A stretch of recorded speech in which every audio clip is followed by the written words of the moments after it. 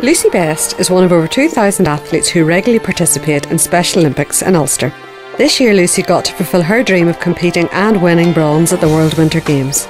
Please support our Special Olympics Collection Day on April the 26th by making a donation to one of our on street volunteers or visit specialolympics.ie.